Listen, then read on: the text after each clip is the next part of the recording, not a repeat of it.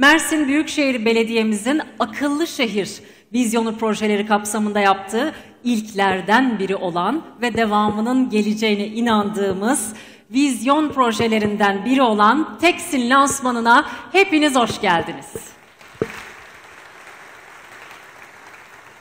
Güzel bir gün planlandı. Ee, burada çok güzel insanlar görüyorum. Bugün sizinle alakalı, Mersinlilerle alakalı ve gelişmekle alakalı. Müthiş bir değişim, müthiş bir gelişim. Ee, önce bir alkış istiyorum. Biraz heyecanlanalım. Simge Fıstıkoğlu hanımefendi için, sizler için hazırlandı. İkinci ve son bir büyük alkış. Çok yormak istemiyorum sizi. Günün merkezinde olan sizler için. Öncelikle şunu önemli belirtmek isterim ki e, bu uygulama vatandaşların her türlü önerisi, şikayeti ve talebine çözüm getiriyor. Üstelik Teksin sadece bir şikayet çözüm merkezi de değil, aynı zamanda büyükşehir, MESKİ ve belediye iştiraklerinin tüm hizmetlerini tek bir noktada birleştiren Türkiye'nin en kapsamlı, burası çok önemli, akıllı belediye mobil uygulaması. Uygulama üzerinden yapılan şikayetler tek bir yerde toplanıyor. Bu sistem belediyeler arasında bir ilk. Şikayetler direkt olarak başkana iletiliyor. Raporlanıyor başkana yani şikayet direkt başkana yapılıyor.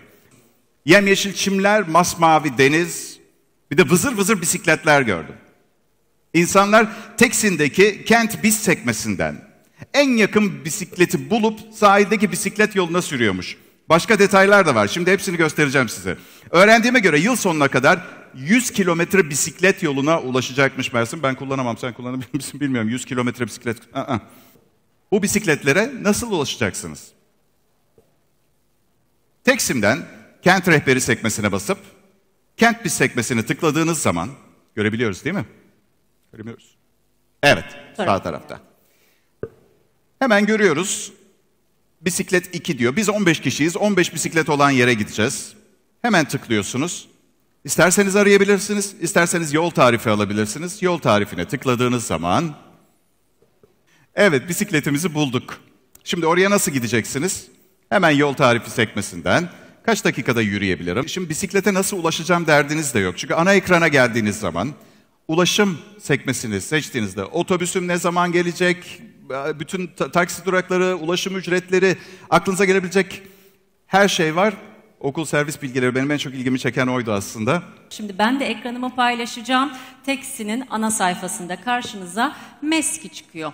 Meski'yi tıkladığınız zaman duyuruları görebilirsiniz, faturalarınızı görebilirsiniz. Sorgulamayla borcunuz olup olmadığını, ödenmemiş bir faturanız olup olmadığını öğrenebilirsiniz.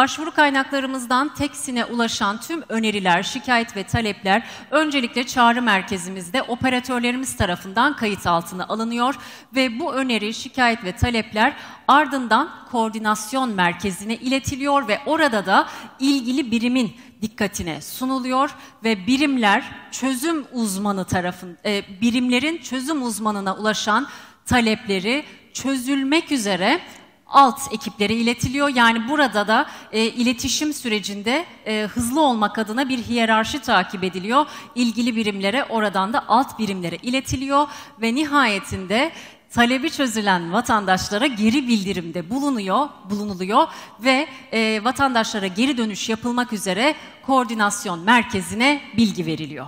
Söylediklerimi aynen yaz lütfen Sirke. Hemen yazıyorum. Buyur. Mersin Bir dakika, neden... önce bir merhaba yazalım. Merhaba yazalım. Merhaba. Ve kibarlık, Evet. kadın fark. Mersin neden bu kadar sıcak? Bu konuda ne yapabilirsiniz? Tamam çok güzel. Neden bu kadar Çok merak sıcak? ediyorum ne olacağını gerçekten. Bu konuda Olacak soru değil çünkü siz de kabul edersiniz.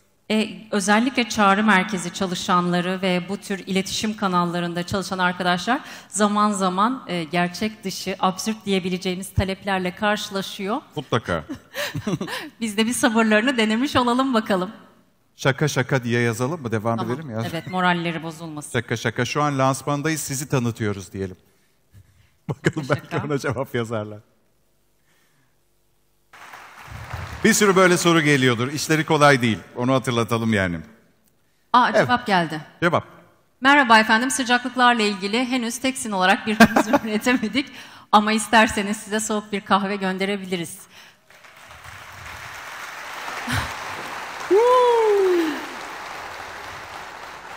Bu kadar güzel bir cevap ben de beklemiyordum. Vallahi bence çalışmışlar. Evet. Ee, gerçekten çok tatlı bir cevap bu. Ben hayır demem bu arada. Çünkü gerçekten çok sıcak. Ee, misafirperverliğiniz için de e, Sayın Genel Başkanımız ve Sayın Mersin Büyükşehir Belediye Başkanımız nezdinde tüm e, Mersin Belediyesi'ndeki çalışanlara ve bizi burada çok rahat ettirenlere ben kendim ve senin adına bir teşekkür etmek istiyorum. Yürüyor iktidara Kılıçdaroğlu Nasılsın?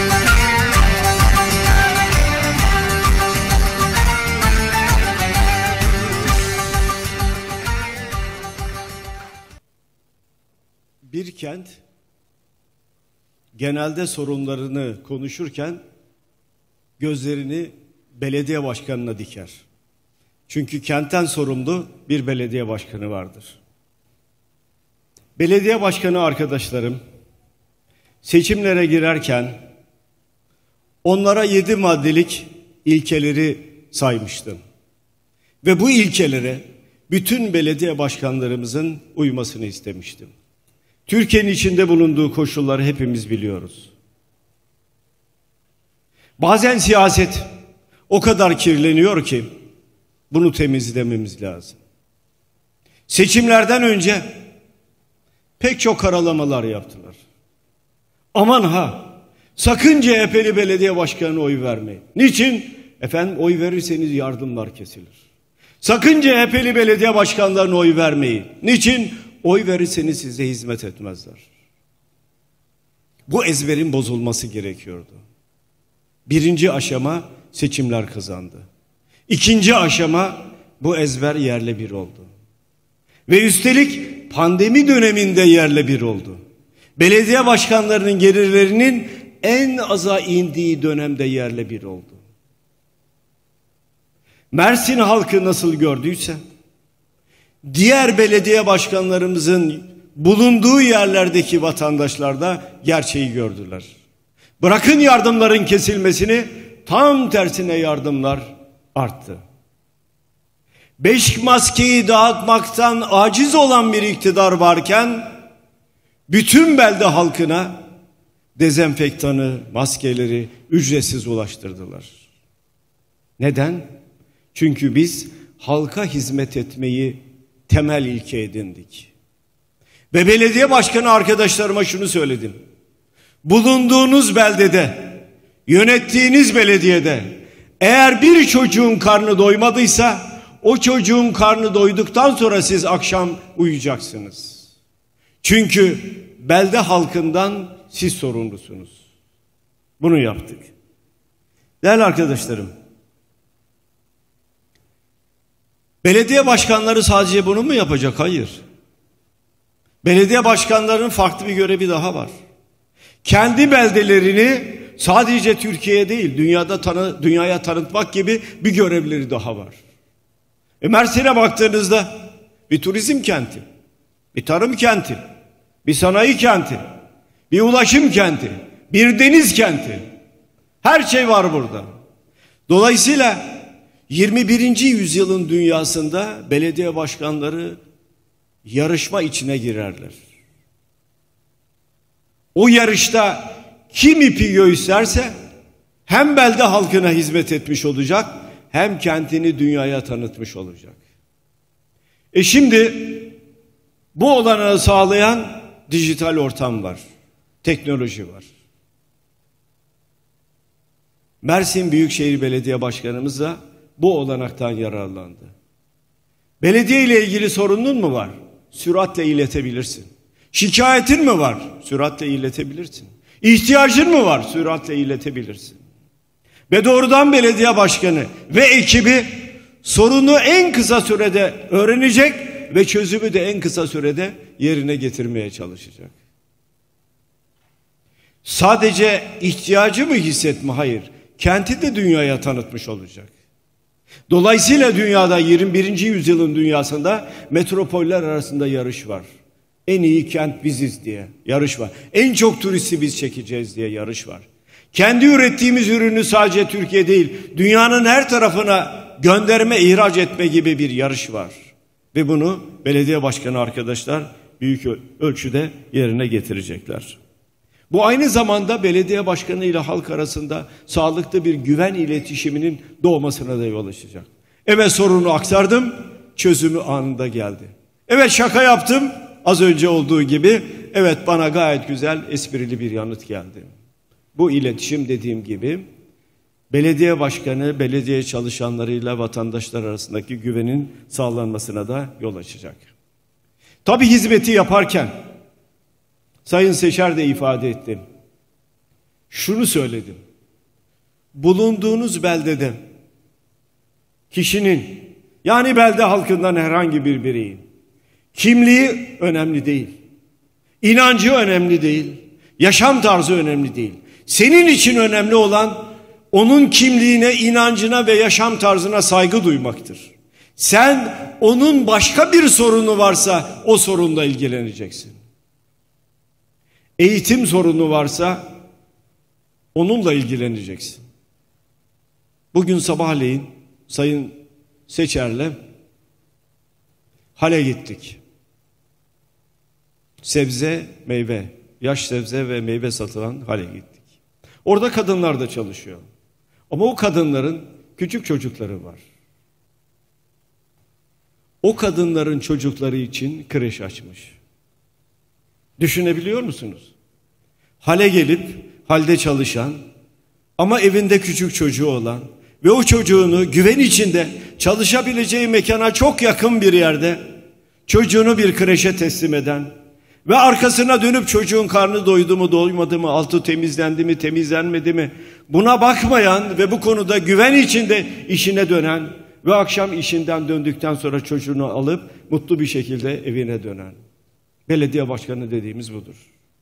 O nedenle ben hepinizin huzurunda Büyükşehir Belediye Başkanımıza teşekkür ederim. Ve Sayın Vahap Seçer lütfen ayağa kalkar mısınız? Ve hep beraber lütfen Büyükşehir Belediye Başkanımızı alkışlar mısınız?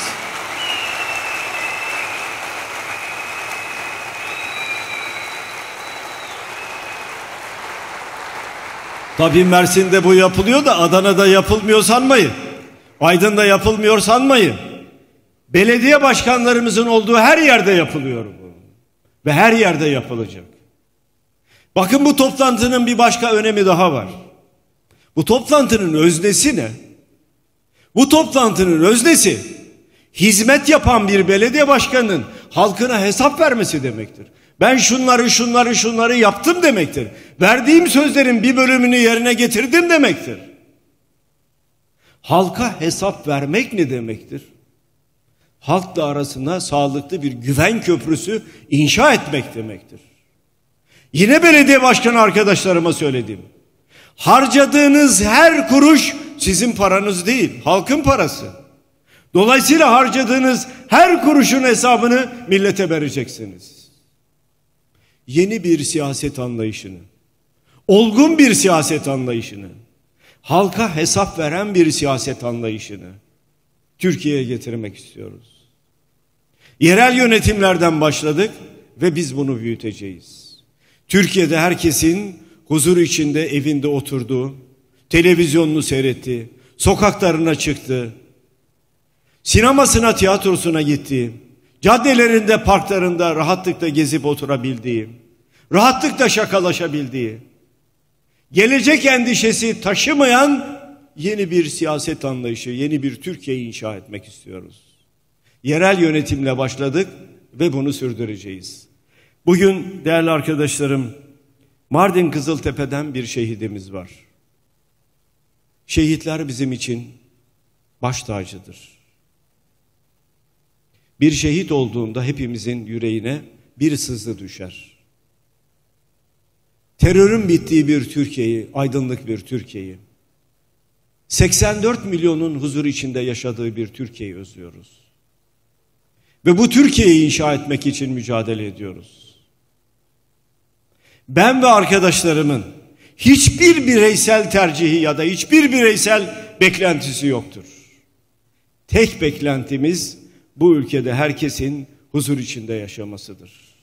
Her annenin, her babanın, her çocuğun huzur içinde yaşamasıdır. En büyük arzumuz budur. Ve biz bunu yapmaya talibiz. Yapılmayanı yapmaya talibiz. Hesap verilmeyen ortamda hesap vermeye hazırız ve talibiz. 128 milyar dolar nereye gitti sorusu hala askıda. Ama biz 128 milyarı vatandaşın sormasını değil, bize şu soruyu iktidara geldiğimizde sormalarını isteriz. Ve sorduklarında da yanıtını veririz. Şurada bir kuruş vardı. Şurada 10 lira vardı. Şurada 100 lira vardı. Bunu nereye harcadınız sorusunu başımızın üstünde kabul edeceğiz ve her sorunun yanıtını alnımızın akıyla vereceğiz. Yeni siyaset budur. Ahlaklı siyaset budur. Ve biz bunu yapmaya talibiz. Hepinize tekrar en içten selamlarımı, sevgilerimi sunuyorum. Sağlıcakla kalın, hoşça kalın, dostça kalın. Beraber güzel Türkiye'yi inşa edeceğiz. Birlikte inşa edeceğiz. Dostlarımızla birlikte inşa edeceğiz. Hep beraber güzel bir Türkiye'de mutluluk içinde yaşayacağız. Sağ olun, var olun diyorum. Ankara'dan çok değerli bir misafirimiz var. Türkiye'nin gururu, Türkiye'nin umudu Sayın Genel Başkanımız Kemal Kılıçdaroğlu. Hoş geldiniz Sayın Genel Başkanım. Gerçekten Türkiye'nin dünyaya ayak uydurma çabaları içerisinde olan bilişime yöneldiği bu günlerde sadece belediyecilik hizmetlerinde değil her alanda teknolojiye, dijital ortama artık hayatı insanların parmaklarının ucunda klavyelerle yönetmeye, yönlendirmeye, sevk ve idare etmeye belediyelerinde çoktan başlamış olması gerekiyordu. Bizler de bu bilinçle, bu gerçekle öncelikli olarak akıllı bir kent yaratacaksak bir kere belediyemizin de akıllı olması gerektiğini düşündük. Ve çalışacağımız insanların da akıllı olması gerekiyor. Eğer akıllı insanlar, liyakatli insanlar, çalışan insanlar, sorumluluğunu omuzlarında taşıyan insanlarla bir arada olursak seçim öncesi söylediğim gibi kentin sokaklarında yürürken başımız dik, alnımız açık olur. Neden? Biz halkımıza şunu vaat ettik. Sizleri seviyoruz. Sizleri sayıyoruz. Bizlere destek olun. Bizlerin yanında olun. Biz kimsesizlerin kimsesi olacağız. Biz herkesi kucaklayacağız. Biz körüz. Biz ideolojik körüz. Biz etnik körüz. Biz siyasal körüz. Biz mezhepsel, meşrepsel körüz. Çünkü biz belediye başkanıyız. Herkesin belediye başkanıyız dedik. Ve uygulamalarımızı başlattık. Az önce çok değerli bir uygulamayı arkadaşlarımız tanıttılar. Simge Fıstıkoğlu ve Bay, Bayce. Gerçekten çok güzel bir sunumdu. Ben anlatsam ya da bu işte uğraşan arkadaşlarımız bu işlerin mimarı olan çalışma arkadaşlarım anlatsa bu kadar anlaşılır net anlatamazdı. Birkaç cümleyle teksini anlatmak istiyorum. Teksin benim yol arkadaşım. Teksin benim baş danışmanım. Teksin benim belediye çalışmaları içerisinde en güvendiğim çalışma arkadaşım. Bana ölçümleri yapan, sokakta vatandaşla konuşan, onların derdini bana aktaran, onları raporlayan, onları rakamlara döken anketör. Teksin başkanın vatandaşla arasındaki köprüyü oluşturan bir yapı. Vatandaşlarımızın da sığınacağı liman. Vatandaşlarımızın dert babasıdır Teksin. Hani vatandaşlar derler geleneksel bir anlayış var. İnşallah Sayın Genel Başkanımızın Cumhurbaşkanlığında partimizin iktidarında bu anlayışı da değiştireceğiz.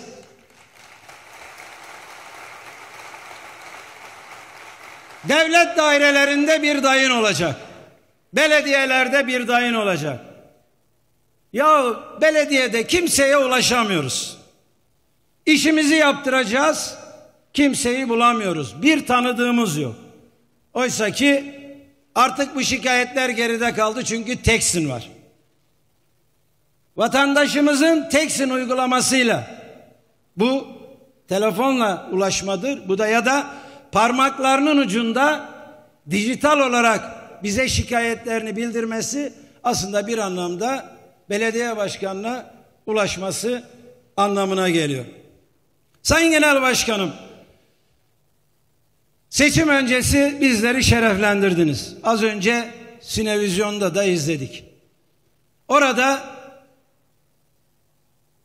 genel başkanı bulunduğunuz partinin belediye başkan adayının projelerini dinlediniz. Ben de sizlerin huzurunda, sizlerin şahitliğinde Mersin halkına söz verdim. Bizler Cumhuriyet Halk Partiliyiz.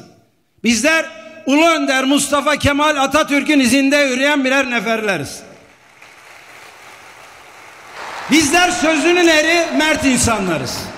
Ve ne dediysek o. Birer birer gerçekleştiriyoruz. Az önce Simge Hanım söyledi. Daha dün gibi yaklaşık olarak iki yılın biraz üzerinde bir zaman dilimi geçti seçimin üzerinden. Ama daha dün gibi. Ama görev süremizin bitmesine yaklaşık iki buçuk üç yıl var. O sürede çok çabuk geçer. Bizim 7-24 çalışmaya ihtiyacımız var ve çalışıyoruz. Teksin de öyle çalışıyor. 7-24 çalışıyor. Sabahın 5'i akşamın 5'i hiç fark etmiyor. Gecenin 12'si gündüzün 12'si. Teksin 24 saat çalışıyor. Başkanı da çalışıyor. Çalışma arkadaşları da çalışmak zorunda. Bizler Sayın Genel Başkanımıza söz verdik. Partimizin gururu olacağız. Urur, umudu olacağız. Ümidi olacağız ve ülkemize hizmet edeceğiz. Bu yolda çalışmalarımıza devam ediyoruz. Çok teşekkür ediyorum. Başta Sayın Genel Başkanıma, çok değerli konuklarımıza, çok değerli Mersin halkına, siz değerli hemşerilerime saygılarımı, sevgilerimi sunuyorum.